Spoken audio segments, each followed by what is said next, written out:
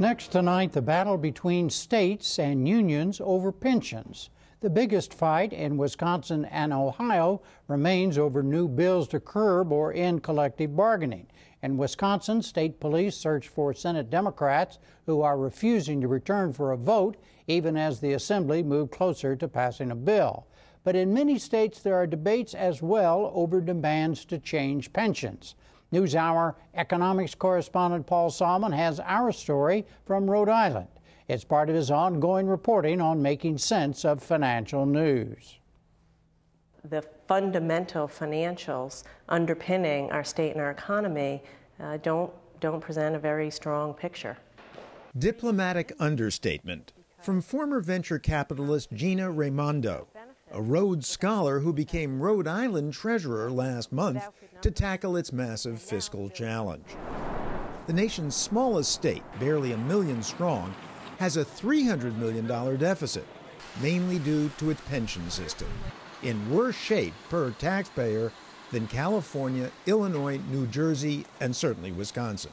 Today, Rhode Island has a $5 billion unfunded liability, which is the highest unfunded liability uh, per capita of any state in the country. In 1998, our budget was paying uh, 145 million into the pension. This year will be 335 million, and five years from now, it will double again. Unionized Democratic Rhode Island's flying under the radar right now as Wisconsin and other states openly attack public sector benefits. But it's a case study of a national crisis unfunded pension promises to retiring government workers, some $3 trillion worth nationwide. In Rhode Island, as elsewhere, the root cause is plain and simple.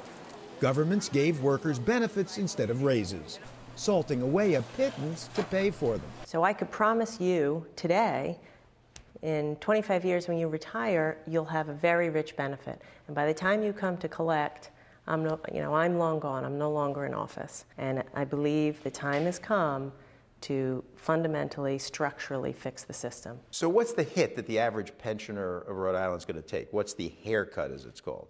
I think it could be a significant hit. 20, 30% hit, it could be? Could be. It could be. You know, in Rhode Island, uh, we have 105 pension systems. So, for certain sections, the haircut will be significant you know, 30, 40 plus percent. For other, you know, systems, it'll be less. But at the union local for state workers, employees say they've helped build the pension fund. And a lot of people don't realize that we pay into it, that we have paid since I've come to work every pay period, and I've never skipped because it gets taken out, 8.75% of my salary. Mary Riley, a clerk at a state college, says the retirement age has already been raised benefits reduced. She no longer knows what her pension will be. No, you know, it could be anywhere from maybe uh, twelve thousand dollars to I don't I don't know. What did you think you were going to have? You know, I would was hoping to have maybe maybe twenty thousand, twenty two thousand. You a know, year. a year. And now it could be as low as twelve. You think? Yeah, I really don't know. Do you understand the feeling out there among a lot of people that is, I'm a taxpayer, you're a state worker, I'm paying for you. I'm having a hard time, maybe I've lost my job, you should share the pain. We have made concessions and we have shared the pain. It's not that we're greedy. We have shared the pain. You keep downsizing your life, downsizing your life, and eventually you've downsized it so much that you just can't give. Joanne Texera left the private sector to work for the state as a cook, taking a pay cut to $17 an hour. I wanted to have a, a scheduled paycheck every month and know that I was going to be able to retire someday from that. So a safe, solid pension was crucial to your decision. The pension and the health coverage was, cru- was crucial, yes. Local union president Michael Downey joined the University of Rhode Island as a plumber 31 years ago. You told me come to work. I made a decision to come. That was my choice. No one forced me. And it wasn't because I thought there was some great job. I was looking for stability and a pension. And I was paying into a pension. And at the end of the day, or towards the end of their career, they say, no, you're not at the finish line yet. We're making one more adjustment. And it's pitiful. We have litigation as we speak about those changes. And the argument is that we feel as though vested and people that were told a certain promise, the promise should be kept. But without dramatic changes to the pension system, Rhode Islanders face dramatically higher taxes and or austerity. In the rotunda of the State House, the lofty ambitions of Rhode Island a just legal system, higher and higher education, fine arts. But, says the treasurer, there's only so many resources, and to fund these unfunded pension liabilities, the money has to come from somewhere, and where it's coming from, it's siphoning off capital from public schools, public buses, public parks, public libraries, and higher education. So, this is the home um, that was for eight boys that came from abused and neglected families. And upstairs here was the bedrooms where they used to sleep at night. This house was set up for kids in state custody. Adopted by the Boston Red Sox, on Rhode Island Day, the kids went to Fenway Park. Budget cuts shut the home in 2009. As you can see, the beds have been dismantled um, now that the boys are gone. And I just have um, so many memories of this place and um, the boys that lived here. And I remember a young boy, um, Jeffrey, who was in this room, who was just came to us so um, broken and so hurt and vulnerable and left us um, just a thriving young man. The boys were all placed elsewhere. But down in the kitchen, Margaret Holland McDuff of Family Service of Rhode Island agonized what's next? The soup kitchen will be closed. Um, the case management and the financial literacy programs for those families will be closed. The employment placement services will be closed. It's critical moral decisions that our leaders have to make.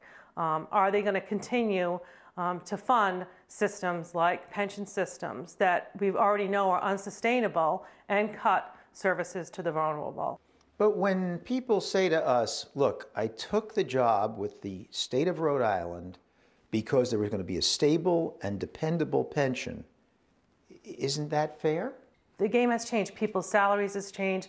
People's stability has changed. People's idea that they're going to work at the same company for 30 years has changed as they've gotten that pink slip that they never expected. These children are um, the most vulnerable in our community. I mean, in any other community around the world, this is, these are the kind of children that a village gets behind. And I, I want to know that Rhode Island is going to be that kind of village for these children. But if Rhode Island and states like it can't solve the pension problem, can't raise taxes, can't cut more, their only other source of funding could dry up borrowing in exchange for their IOUs, their municipal bonds. Northwestern University finance professor Josh Rauh. I think my most likely scenario is that there would be one or two major municipalities, potentially even a state, that runs into a, into a crisis where they can't roll over their short term debts. So I, I think that's the direction that we're heading in, and it's a very serious situation. In short, a municipal bond default, in which bondholders get paid less, maybe far less, over a longer period of time. No wonder interest rates on muni bonds are up. Treasurer Raimondo says there's no chance of default, but that means a pension overhaul. This problem of the pension, Rhode Island faces it, every state in the country faces it. The unfunded pension liability nationwide is a $3 trillion problem. TARP, we were prepared as a country to put aside 700 billion. The bailout of Fannie and Freddie was 400 billion. They all pale in comparison to the enormity of this financial challenge. And marginal change won't fix it, tinkering won't fix it, pretending we don't have a problem won't fix it. Looking in the eye of this enormous financial problem honestly and recommending fundamental changes to a system, I believe, is the solution. Fundamental changes that, even if the problem isn't as dire as Raimondo claims, no one in Rhode Island is yet willing to make.